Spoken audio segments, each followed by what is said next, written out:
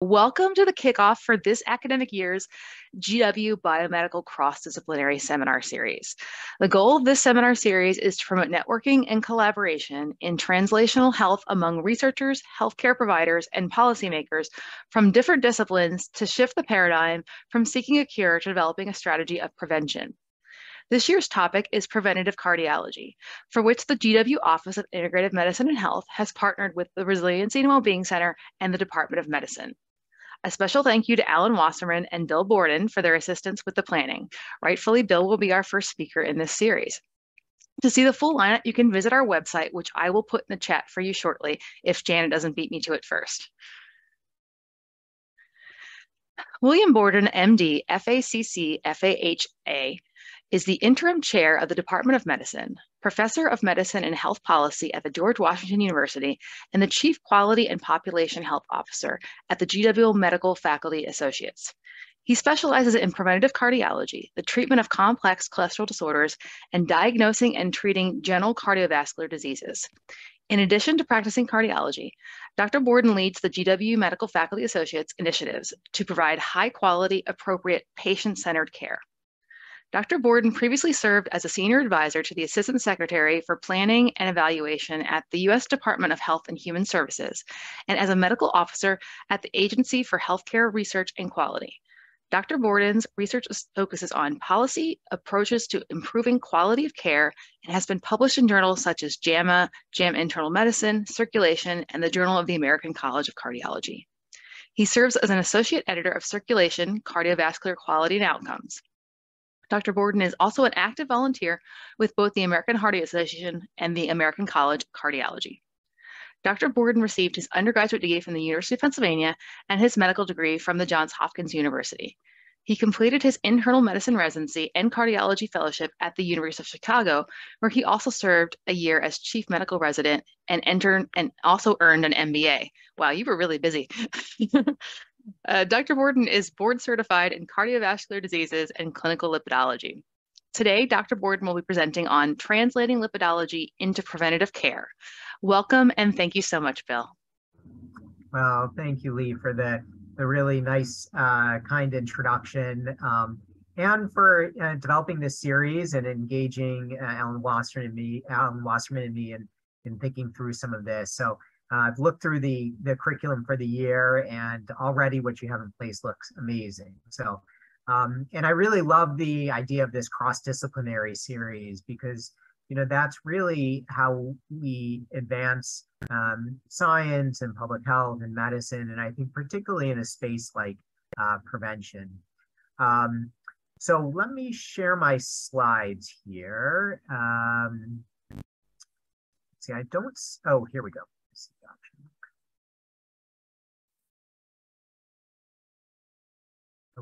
Great.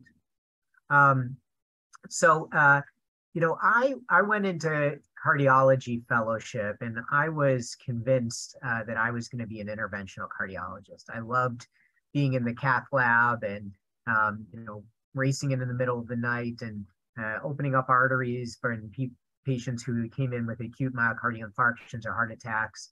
And it saved lives. I mean, it was really incredible uh, work um, what I came to realize is um, there's so much that could be done to prevent a person from ever having to come in in the middle of the night with a heart attack.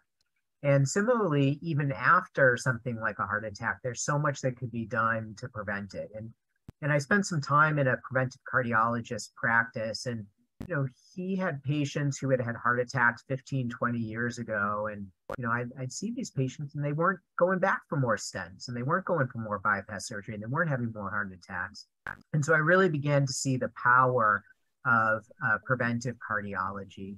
And a, a, big piece of this was around the lipidology and the, the cholesterol management there are many aspects to preventive cardiology, but that lipid management is a big part of it, and um, and is what uh, got me really passionate about the field that I have gone into. So, um, so in today's talk, certainly jump in. Anyone has questions or comments along the way, it can be really informal. Um, so, uh, but it is going to be a little bit more of a clinical talk today, and so if there are aspects that are um, too clinical or don't make sense uh, for people who are not clinical, please raise your hand or jump in or uh, and uh, happy to explain that further. But uh, hopefully it'll be uh, informative in the work that you all do.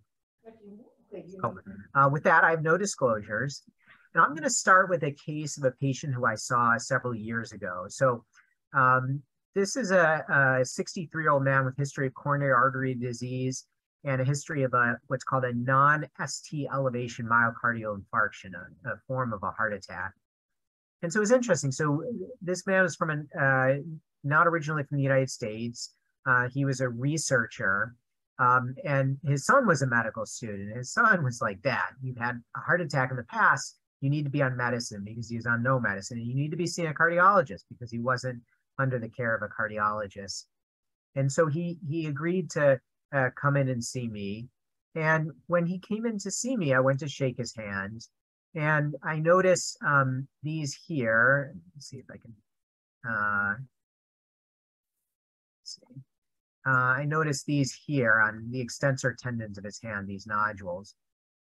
And so I asked him about them, and he said, you know, I used to work for a surgeon, and the surgeon said, oh, you know, I'll cut those off. And he uh, opened them up and cut them off. They were gone. And then they grew back. Um, and this is the his elbow, the extensor tendon of his elbow, and you can see this this kind of mass here on his elbow. And then this is his Achilles tendon, which if you kind of reach down and feel your own Achilles tendon, it's you know it's maybe you know half a centimeter across. So his was about two and a half centimeters across. And so these findings are really characteristic of something called uh, familial hypercholesterolemia. So this is a genetic inherited disorder um, where there is a defect in the LDL receptor. The LDL receptor uh, sits uh, on, uh, is uh, something that sits on the hepatocytes, the liver cells, and sort of captures LDL particles, grabs and pulls them uh, into those cells um, so that that cholesterol can eventually be removed from the body. Um, people who have a, a defect, if they have one defect, it's called heterozygous familial hypercholesterolemia, they have, you know, very high LDL levels in the two, 300 range. Um, and this is relatively common. So it's about one in 300 or so people in the US. So in a primary care practice, a primary care provider is going to see these patients. I see them, you know, even more frequently in a cardiology practice. Um, and this is manageable. And I, I mentioned this because we're going to come back to this later in the talk because uh, it factors into the guidelines as a, a group identified a particularly high cardiovascular risk um, requiring um, active management. There is also a homozygous version of familial hypercholesterolemia, um, which is really a devastating disease where there are no LDL receptors um, and LDL levels can be, you know, up to a thousand. Uh, and here, um, these this is a very aggressive disease where uh, people can develop coronary disease you know, in their uh, elementary school years, early teenage years, um, and is generally treated with um, something called LDL pheresis, which is sort of a dialysis to remove the cholesterol. Fortunately, this is more rare. It's about one in a million. So there are only about you know 300 or so of these patients in the U.S.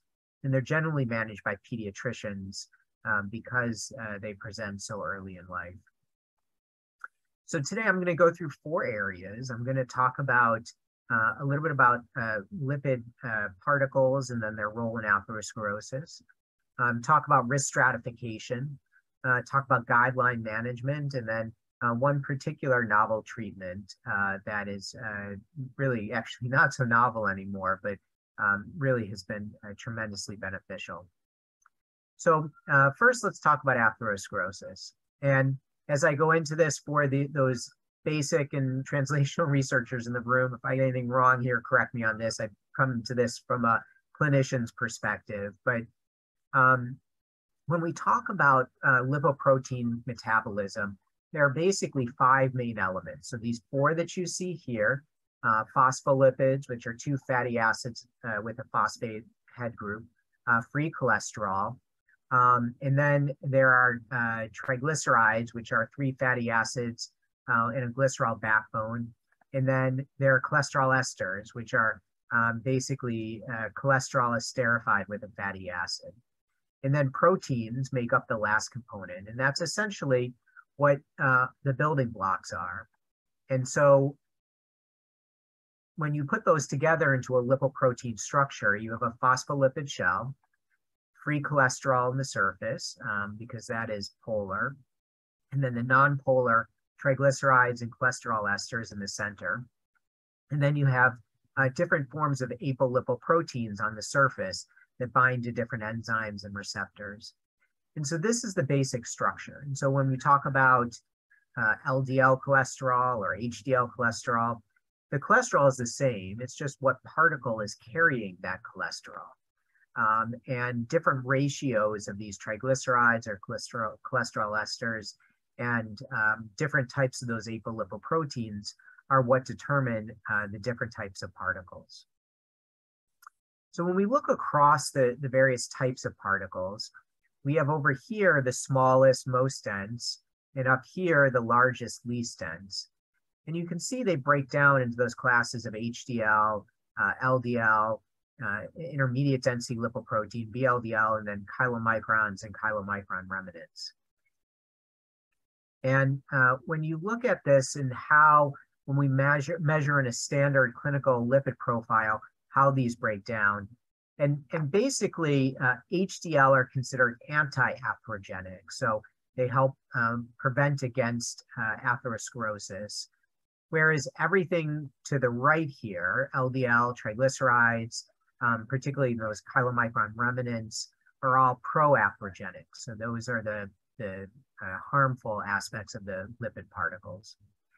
And so when we um, look at how this is measured, uh, we use the Friedewald formula. So um, in typical uh, practice, when you order a lipid panel, um, you get a measured total cholesterol, a measured HDL, and then a measured triglycerides. And then the, from the triglycerides, you can estimate the VLDL, and then with just rearranging the formula, you can then calculate the LDL. And in this formula, the way that you're able to get at that VLDL is by taking the triglycerides and dividing it by five, because in VLDL, there's about a five to one ratio of triglycerides to cholesterol. Um, so, but where you run into trouble is if those triglycerides are very high. Because if you have triglycerides that are very high, then that ratio can become more like six or seven or eight to one instead of five to one. And so then the estimate begins to fall apart.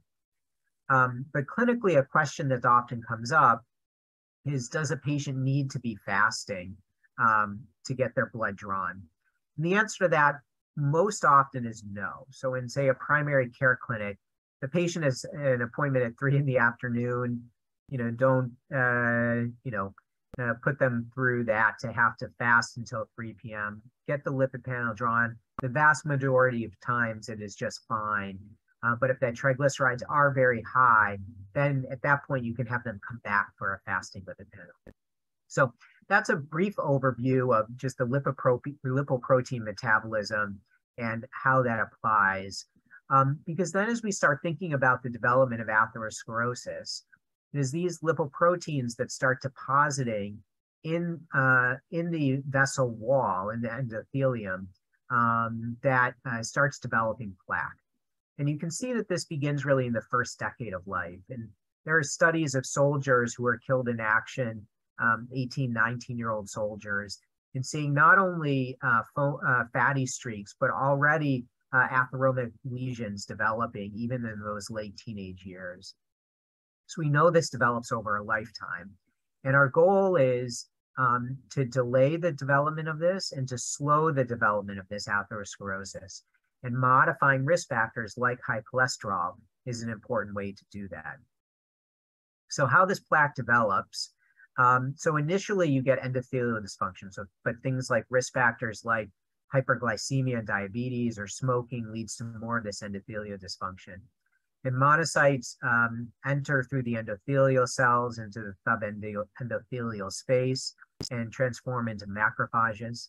Um, there you get more lipid deposition over time. And development of this fatty streak is those macrophages become foam cells. Um, the body tries to heal this by um, trying to establish a fibrous cap to contain this lipid-laden core. But over time, as that uh, as the plaque and that lipid core grows, um, you begin to release different inflammatory uh, mediators that begin to break down that fibrous cap. And ultimately, what happens uh, is, is that you get a rupture of that fibrous cap, exposing then this lipid core to the bloodstream, where you then get platelet aggregation um, and initiation of the uh, coagulation cascade, which then leads to a thrombus. And then that thrombus occludes the entirety of the blood vessel, cutting off blood flow to the downstream uh, myocytes, and then you get myos, uh, myocyte ischemia and infarction and myocyte death, which is what is a heart attack. So that's obviously what uh, we want to try and avoid. And so as I mentioned, um, you know, we know that this process begins over a lifetime. And so um, one of the key ways in starting this is risk stratification and understanding which of our patients are at higher risk. So I'm going to present uh, a case here, and this is uh, a patient is seen in primary care clinic um, who is a 50 year old woman who wants a checkup. She's asymptomatic, doesn't really do exercise, uh, eats what she describes as a reasonable diet, though it's always helpful to do uh, a dietary history to understand what that means because we all kind of define a reasonable diet in different different ways. But one of the main reasons she's here is that her mother, uh, thank you, Leigh. I see you applauding that. We're we're on the same page there. Um, mother had a heart attack at age 50. So obviously she's concerned. She just turned 50. Um, she has hypertension or high blood pressure on medicines. Uh, she's not a diabetic. She's a non-smoker. Um, she is obese by calculating her BMI of 31. Her blood pressure is not particularly well controlled at 140 over 90 despite the medicines. Heart rate is 74. And then if you look at her cholesterol numbers, her total cholesterol is 190. Uh, her HDL, her good cholesterol is 45. Triglycerides are 150, and her LDL is 115. So what, what do we advise this patient, um, you know, with that LDL 115? Should she go on a statin? Should she just continue working with lifestyle modification? You know, how, how do we advise her?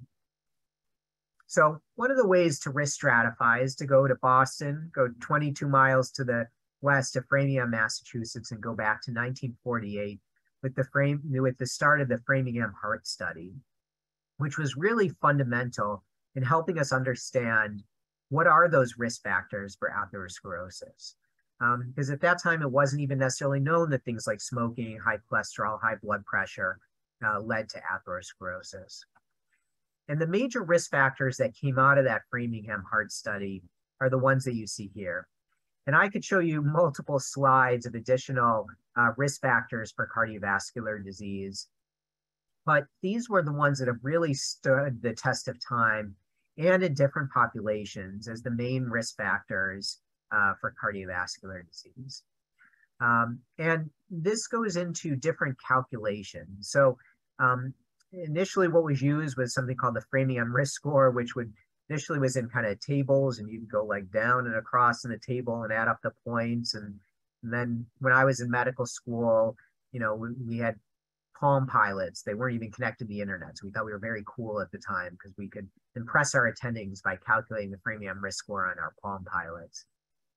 Now, of course, uh, this calculation is available um, you know, online, on phones. Uh, EHRs have this built in automatically um, to get you that uh, that risk scoring.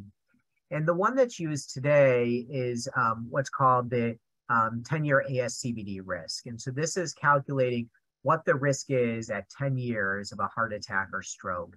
So this is one calculator for the American College of Cardiology. It uses the same underlying uh, formula that was published in the guidelines I showed you previously.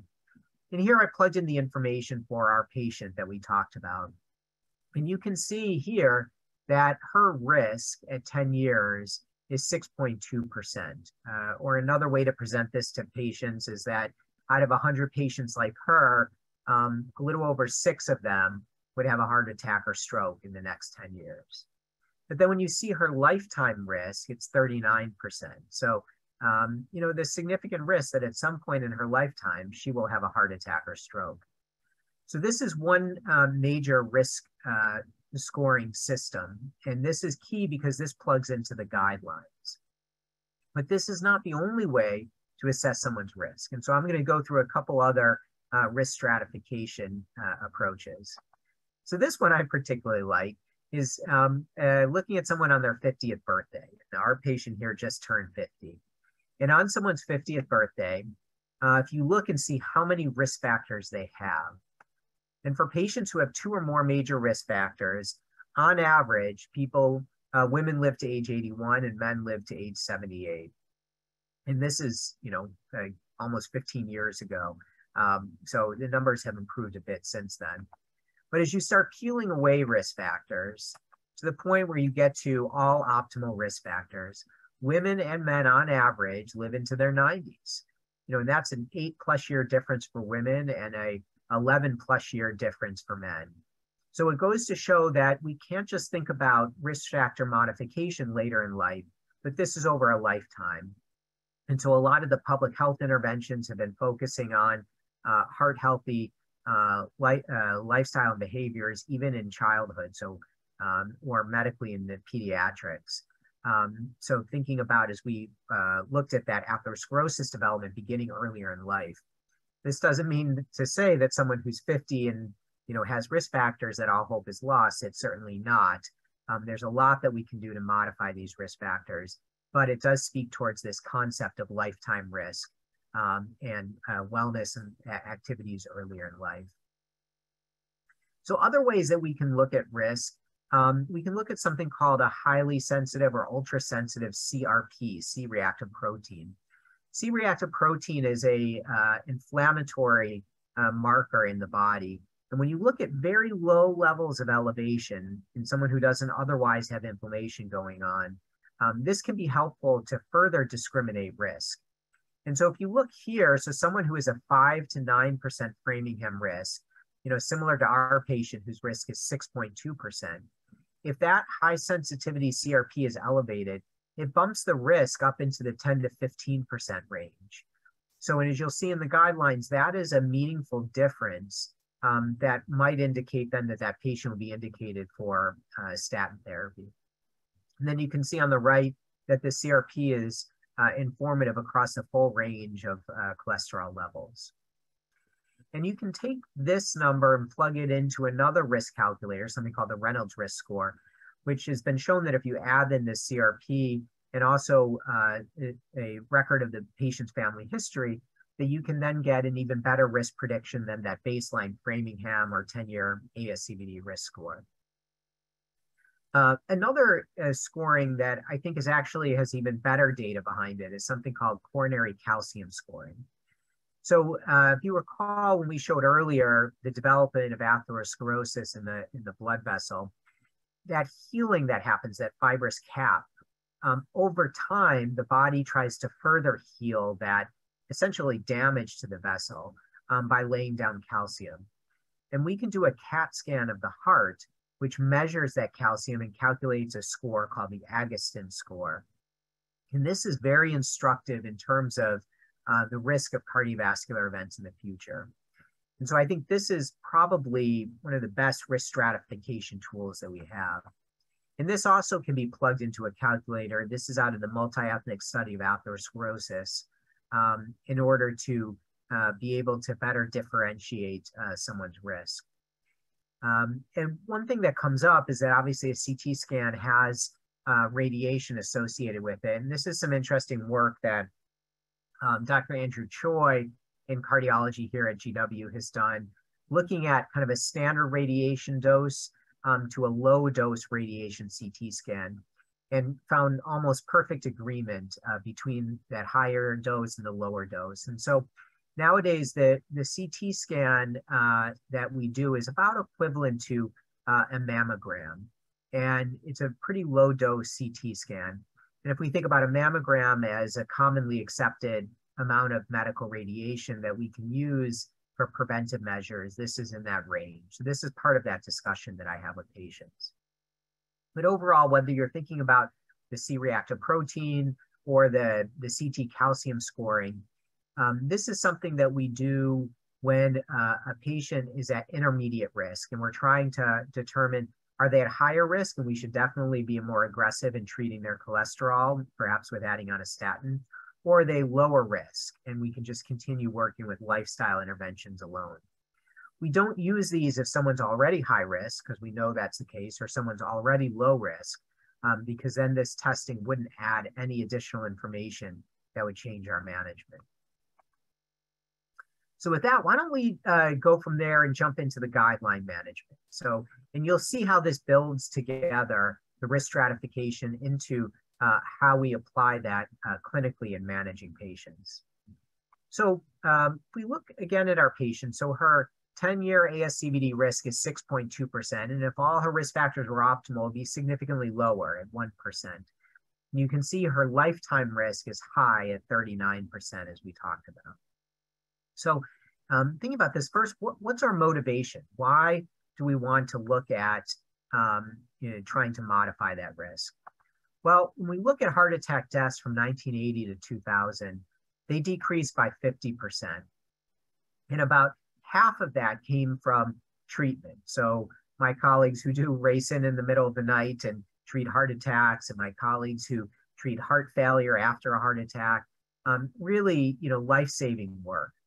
Um, but we also saw was that 50% of this 50% reduction, so 25%, came from prevention. And when we look at prevention, um, the biggest factor were decreasing cholesterol levels. So I'll uh, lay out the other preventive measures, but that's why, at least in today's talk, focusing on cholesterol management, um, though each of these additional elements could have their own uh, lecture, course, uh, specialization with them. So decreasing blood pressure, decreasing smoking, decreasing sedentary lifestyles, which is a bit of a double negative, means getting people up and moving more. Um, and that's offset though by an increase in weight um, and what's got hand in hand with that, which is an increase in diabetes. And in fact, looking at national statistics in recent years, we've seen a decrease and actually an uptick um, in uh, a decrease in this the decline of mortality rates and a, in a slight uptick actually in recent years, which has been linked nationally to the increase in weight and the increase in diabetes. And so, um, you know, knowing now the motivation and why these are so important to improve cardiovascular outcomes, we look at the most recent guidelines on the management of blood cholesterol um, and uh, how that's used to reduce cardiovascular risk. So first and foremost are the lifestyle intervention. So here is kind of a summary of some of the data on diet therapy. Um, and I know, uh, you know, Leigh could lead many lectures uh, much more eloquently than I could, talking about the data behind uh, diet and uh, you know, and its and its helpful effects. Um, but you know, there are certain categories where we know that there is evidence of harm, and we know certain categories that there is evidence of benefit, like green leafy vegetables. And then there's a bunch in the middle that are inconclusive at this point. Um, while the the you know, the discussion, uh, the literature and the experts on this are somewhat mixed. I am a pretty strong believer in the whole food plant-based diets. I think that there's strong evidence behind it. You look at even something like the Ornish diet, um, where you were able to demonstrate not only reduction in cardiovascular events, um, but using something called intravascular ultrasound, where um, go in with a small ultrasound catheter into the coronary arteries and you can actually see regression in the coronary plaque. So I think that that is the best approach, and I encourage my patients to, to work their way towards that. Um, an alternative would be something called the Mediterranean diet, which shares a lot of elements with that whole foods plant-based diet. So low and very low in red meats, low in saturated fats, you know, high in vegetables, whole grains, using some olive oil. Um, and sometimes that may be easier, or more manageable for patients to do, fitting in with their life if it involves travel or eating out. Um, and so, um, you know, a big part of counseling on uh, diet, exercise, and other lifestyle interventions is um, both encouraging patients and also understanding where they're at because you could prescribe a whole food plant-based diet, but if it doesn't work with their lifestyle, they're not going to do it. And so uh, trying to work with people on uh, what's something that fits in with their life. When you look at exercise, um, you can see that there is a, a, drop in cardiovascular mortality as you get to um, increasing levels of physical activity. Um, and so the recommendations out of uh, guidelines are at least 150 minutes a week of moderate intensity exercise, which you can see listed there, which can even be brisk walking. And I counsel my patients that if you're walking outside, if it's with the dog, you know, make sure you're getting at least 30 minutes of not having the dog stopping and then sniffing and doing their business. And, you know, if you're walking in the city, you should be passing some people along the way to make sure that it is that, that brisk walk. And at, at a minimum of 30 minute intervals. And then if it's more vigorous exercise, at least 75 minutes a week. Um, and so you can see these listed here. And I think that's manageable for people. And again, with getting this to fit in with people's lifestyles, you know, so if someone takes the metro to work and they already have to walk, you know, 10 minutes from the metro, I say, you know what, take a detour. So um, you're adding 20 minutes to that walk to the metro. Um, and while it's a little bit longer, you're already doing 10 minutes, then you're getting in that minimum of 30 minutes, um, but it's only adding 20 minutes to your already busy day. So thinking about ways that people can incorporate these lifestyle interventions um, into their busy lives.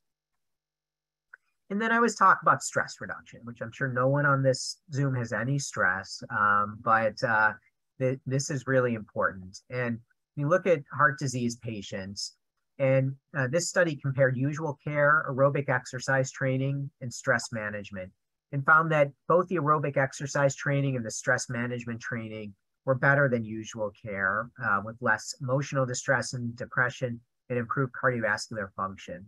Unfortunately, they didn't compare the stress management to the aerobic uh, uh, training to, or the, the combine of the aerobic exercise training and the stress management.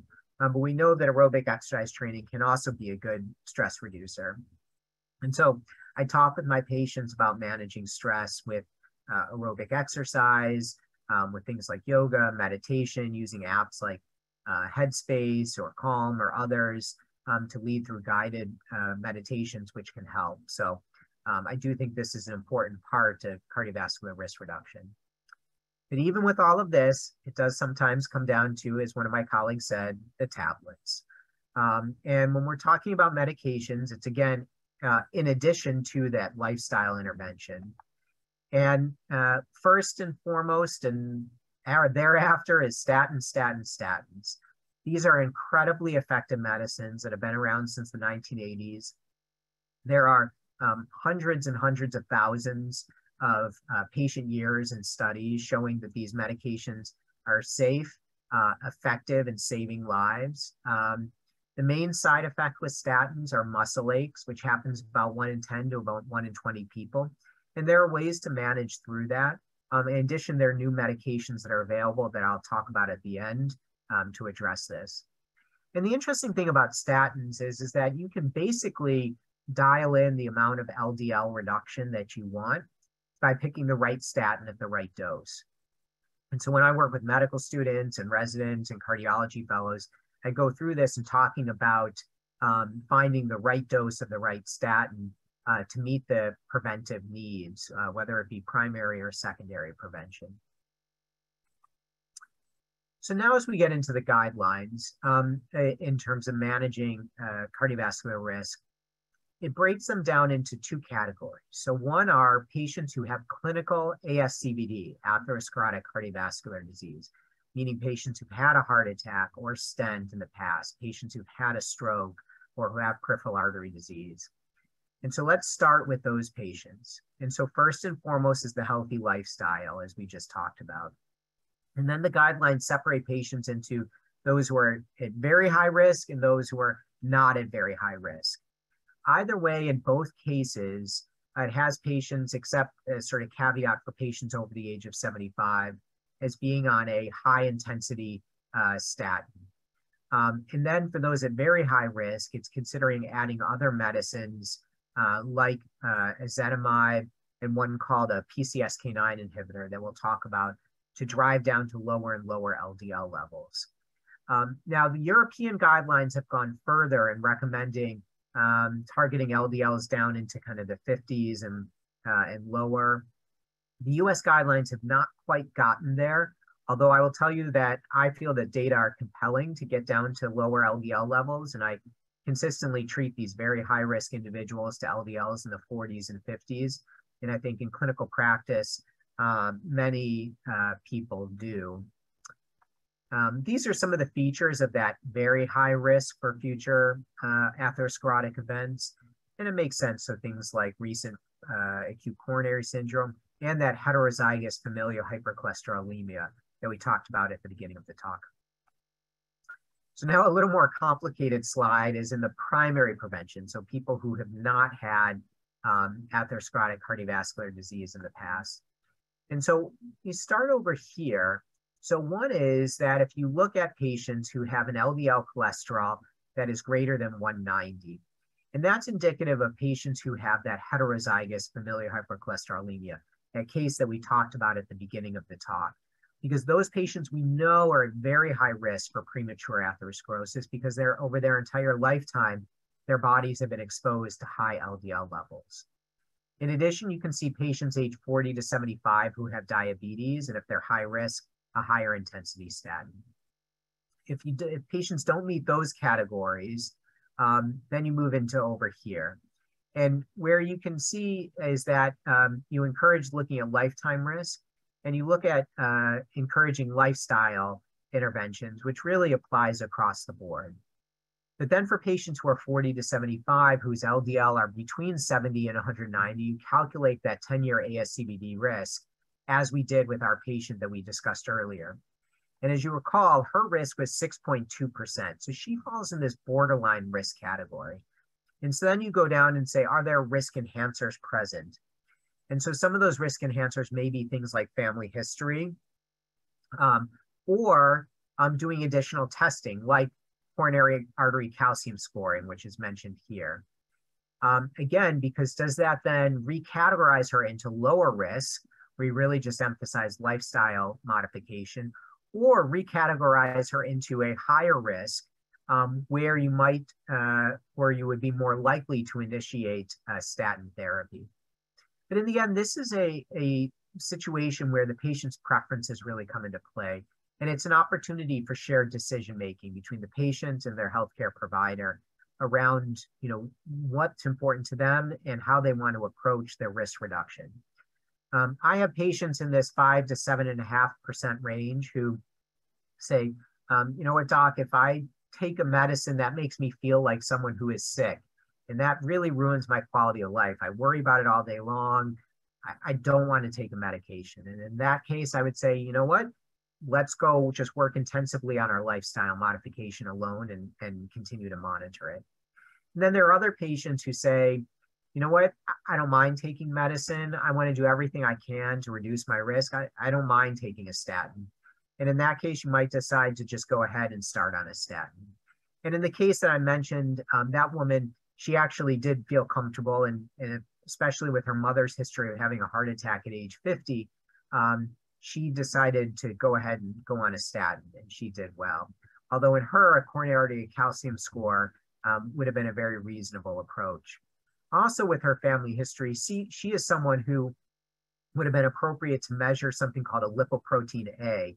And i know you have a talk coming up um, a little bit later in the curriculum on lipoprotein A, which I think is a really important um, particle to understand and uh, something that's playing a bigger, bigger role in risk stratification and management of patients. So um, that brings us through our, our guideline management. And in this last section, I'm going to talk about you know, one novel treatment in particular.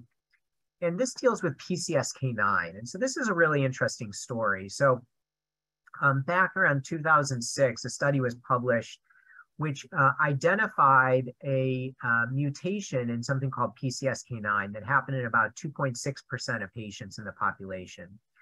Um, and with this mutation was a nonsense mutation, and it resulted in 28% lower LDL cholesterol and 88% lower coronary heart disease, probably because those patients through their entire lifespan had been seeing that 28% lower LDL. And this PCSK9 uh, mutation relates to a protein that binds to the LDL receptor and downregulates it. So a little schematic for how this works. So uh, the liver and the hepatocytes, you have the LDL receptor. PCSK9 binds that LDL receptor and downregulates it, which is exactly what we don't want. We want that LDL receptor up there catching LDL to have it removed from the body. And so in a relatively short time frame, um, monoclonal antibodies were developed that bind to that PCSK9, inhibit it from binding to the LDL receptor. So those LDL receptors are still up there doing their job, uh, gathering up LDL, removing it from the body. When you look at the clinical trials, it's really pretty compelling. So this is um, with alirocumab, uh, one of the, the two FDA-approved PCSK9 inhibitors. And in addition to um, diet, exercise, and maximal tolerated statin, resulted in another 50% reduction in LDL, which is pretty remarkable. And when you look at evolocumab, the other one that's on the market, you got a similar response in LDL. So um, this can be for patients who either is statin intolerant, they're not able to take statins because of, say, uh, muscle aches, myalgias, or patients who are already on maximal statin therapy, um, and with that, they're still not at their LDL goal. And then, um, interestingly, when you do that intravascular ultrasound that I mentioned earlier in the talk, where we put a, a catheter which with an ultrasound probe inside the coronary artery, and we measure atheroma volume, the actual plaque, you can see that as you start getting to LDLs less than 70, you start to see shrink, uh, shrinkage in the size of that plaque, largely because of shrinking that lipid core that is in the plaque which then stabilizes the plaque. It shrinks the size, but it also stabilizes it. So it's less likely to break open and cause a myocardial infarction. So, and this is consistent with other studies which have looked at LDLs going below 70. So I'm going to get back to this in just a couple minutes, but this is part of why um, I treat patients, particularly those who've had prior heart attacks or at very high risk down to LDL levels in the 40s and 50s uh, even though the US guidelines have not quite gotten to that point yet. And then when you look at um, outcomes, which is uh, the main thing that we look at when we look at any medication, does it reduce cardiovascular events? Uh, both evolocumab and alirocumab have outcome studies um, to show that they reduce cardiovascular events. So um, who should get PCSK9 inhibitors? Basically patients who have either clinical ASCVD, they've had a heart attack or stroke or procedure in the past, and or they have familial hypercholesterolemia, and they're on maximum tolerated statin, which could be no statin if a patient has such limiting myalgias they can't be on a statin, in addition to dietary interventions, and they require additional LDL lowering. Um, the PCSK9 inhibitors, they're injections that patients give themselves, but they're really well tolerated. I have a lot of patients on these comes with kind of an easy to use kind of click pen. Um, patients just clean off, say, their upper thigh with an alcohol swab, and then they do the pen. They say feels just like a little pinch, uh, really not much at all. And they only have to take it every two weeks. And there are some formulations that are just once a month. Um, the biggest limitation is generally getting the insurance to pay for it, um, but that's improved in recent years. And uh, for properly indicated patients, we're able to get that. So lastly, I'm going to end with a little bit of a hypothesis generating to get us all uh, thinking a little bit. Um, so if we say, you know, it's tough to define what exactly is a normal LDL, but if you say it's between 100 and 130, is that really right? Is that what ought to be a human's LDL? And how low should the LDL go? Well, and interesting, in the two of the PCSK9 trials, they looked at patients who got to LDL levels less than 25 and it was almost 40% of patients in one of the studies and about a quarter of patients in another. There were no additional uh, adverse events that were seen uh, with um, this degree of LDL lowering. And if you look at a meta-regression, and so this is, you know, you take it for what it's worth, it's uh, uh, combining these different studies, you look in primary prevention, and where that line intercepts zero coronary heart disease events is an LDL of about 57. And then if you take that same approach for secondary prevention, so studies in patients who already had coronary heart uh, events or strokes, that uh, number gets to be about 30. Um, so it suggests that, you know, we perhaps need to be treating patients to lower and lower LDL levels. And this is one of my favorite slides, which um, I got from my uh, mentor, Michael Davidson, which um, sums up the LDL levels in non-human mammals um, and in humans. And so if you look at non-human mammals, most of them have LDLs less than 25. You know, even when you look at uh, sort of uh, carnivores like cats and you know, here are lions with LDLs of 50. And then when you look at humans, even newborns have their LDLs in the 50 range. And we say normal adults, if, you know, depending how we define normal, LDLs 100 to 130, may be too high. And then here are familial hypercholesterolemia, heterozygotes and homozygotes. Um, and so it really asks the question of what is the normal or the appropriate level of LDL for humans. And I think that there's probably good evidence that LDL should be in, you know, less than 100, probably in the somewhere in the 50 to 70 range. And in fact, looking at some hunter-gatherer populations, there's suggestions that their LDLs are lower in that range. Um, and if we think about, um, you know, what humans in their natural state are, we are, you know, for uh, millions of years, we were hunter-gatherers.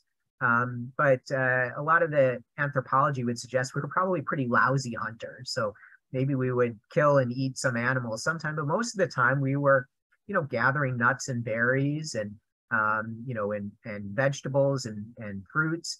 And that was probably the majority of our diet. Um, and it was a widely varied diet as well. And so that's probably a better indicator of what is the normal or appropriate diet for humans. And I think with that, it would suggest uh, probably lead to LDL levels in that 50 to 70 range, or maybe even lower. And so again, hypothesis generating, but suggesting where we can get to um, to really reduce the risk of cardiovascular disease. And when we think about this, again, from a prevention standpoint, um, we can do very well with lifestyle interventions. And you talk about that whole foods, plant-based diet, uh, exercise, um, that gets us closer to perhaps what we ought to be in really reducing the risk of cardiovascular disease. So with that, I will stop. Thank you all so much for your attention and uh, really looking forward to any questions, comments, and the discussion. So thank you. Thanks, Leigh. Oh, thank you. That was wonderful. Um, I'm just going to reiterate all of that. Ditto. I totally agree. Um, and I know there are a lot of really great people in this audience to ask questions. Uh, we've got the newly minted Dr. Kalia and uh, Julie Wett, who's actually my right hand in the nutrition program. So I'm sure we will have lots of great questions. If you want to unmute, it's a small enough group to do that, or you can put them in the chat. Hi, Dr. Borden. Um, wonderful talk. Thank you so much. I was uh, curious if you integrate genetic testing into your clinical practice, you know, what barriers you foresee of integrating genetic testing um, into care. Yeah, that's great. Well, Congratulations, Dr. Kalia. Thank you for the question. So I, you know, I get this question from patients. Um, I do not do genetic testing um, because I think that uh, we're able to get the same information from pretty standard, you know, very inexpensive history taking, um, and and then also from standard lipid panels. Um, you know, there are so for something like heterozygous familial hypercholesterolemia, um, you know, there are kind of um, more simplified ways of assessing it. So is there a family history of premature atherosclerosis?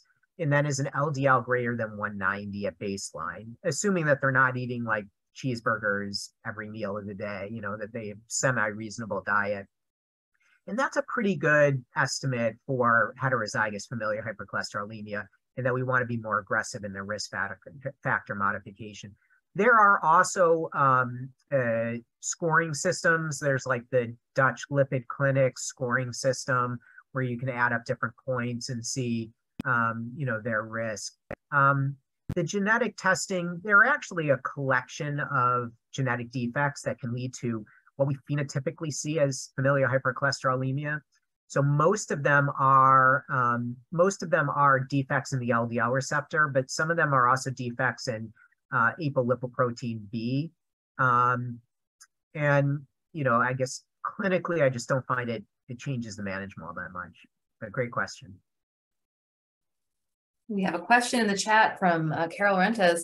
Uh, do you see particle size lab results being used more in the future? Yeah, that this is a really good question. Um, so when I uh, finished my training in, in lipidology, I used to order a lot of these. And um, and just uh, I guess to level set so everyone knows what this is, um, particle size testing is a more advanced lipid profile. And so what it does, it, looks at a variety of different things, but it um, one of the main things it looks at are the LDL particles. You have um, some larger, more buoyant LDL particles, and then you have some smaller, more dense LDL particles. Those smaller, more dense LDL particles is called pattern B. The larger, more buoyant ones is called pattern A. That pattern B of the small, dense particles um, puts someone at higher uh, cardiovascular risk. It's more atherogenic. Um, so it is another risk uh, stratification tool. In general, those small dense LDL particles correlates with um, people who are uh, overweight or obese, have diabetes or impaired uh, fasting glucose, have high triglycerides and low HDL. And so, um, you know, I think kind of similar to Dr. Kalia's, my response to Dr. Kalia's question, I'm able to get most of that information by doing a history of physical exam and by um, measuring an HDL and a triglycerides. So I don't order many of them. Uh, so I stopped ordering more of them. And then it was interesting, the National Lipid Association, which has many of the people kind of did a lot of the fundamental work in that, actually came out with a statement that they actually found it was not all that useful. Um, and so there are some rare circumstances where I do, but um, and certainly I have patients who come to me who had them that test ordered other by other uh, providers, um, but I, I don't order it too frequently. But it, it is a question that comes up quite a bit. Yeah, great question. Lisa, you have a question. Um, I'm a, a, genetic counselor by training, so I have to admit I was a little um, struck by your comment that you don't include genetic testing, but I completely appreciate what you're saying, that the clinical presentation is really going to give you a lot of that information. But I guess I'm just curious if um, you see value in identifying other family members, um, perhaps younger children, you know, adult children of some of your patients who may, of course, if they carry the mutation, would then have an even earlier opportunity to get um, preventive measures, even if their LDL has not reached a certain level. Mm-hmm. Oh, that's a that's an important point, and I do counsel all of the patients on family screening. So all the patients who have heterozygous FH, I counsel them that uh, their children need to be tested, and the pediatric guidelines recommend that starting at age two in these settings, that patients get lipid panels drawn. Um, you know, at the very minimum to understand the risk, but then to do, you know, dietary uh, exercise changes in childhood. Children do get started on statins. Uh, I have to say, you know, that's very much in the realm of my pediatric lipidology colleagues. I, you know, I'm not a pediatrician, um, but it that does play a role. And I also then recommend count, but screening of siblings, and if siblings are positive, so following, you know, what uh, Dr. Schwartz you you know well, and and um, doing that screening. And then I mentioned this other one, lipoprotein A, which you're going to have a talk on coming up. That's another one that when I identify that because it is genetically inherited, um, that I do um, recommend family screening for. But um, you know, I I'm open to being convinced otherwise. But thus far, I've done this mostly just phenotypically. Oh yeah, absolutely. I'm just like I said, biased because of my own background. Thank you. That's a, a, good question, Lisa. Thank you. I have a question for you, Bill. Uh, you mentioned several times the importance of, as I would refer to, the area under the curve in terms of exposure, their lifetime exposure to these. But almost exclusively, we are looking at a single time point, or at best, a short period of time for people, even in terms of research.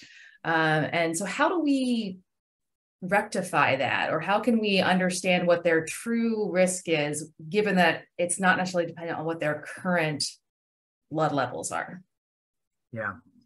Um you know it, it's one of those where you have to sort of you know integrate you know all this together. And that's where you know when looking at the decision and a lot of this comes down to this decision of do you start a statin or not?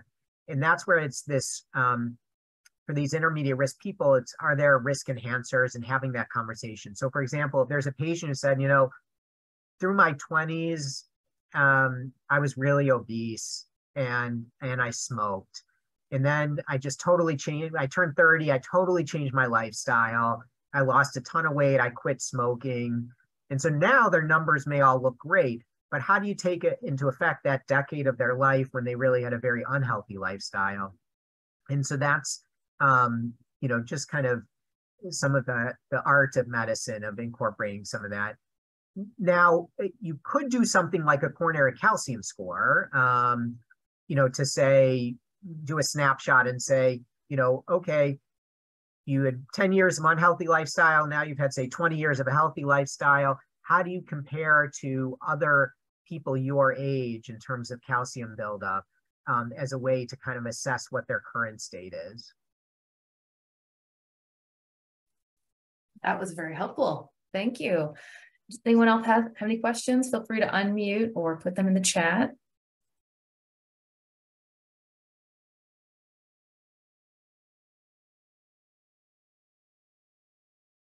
Well, while you're thinking, just a, a plug in for the Resiliency and Wellbeing Center.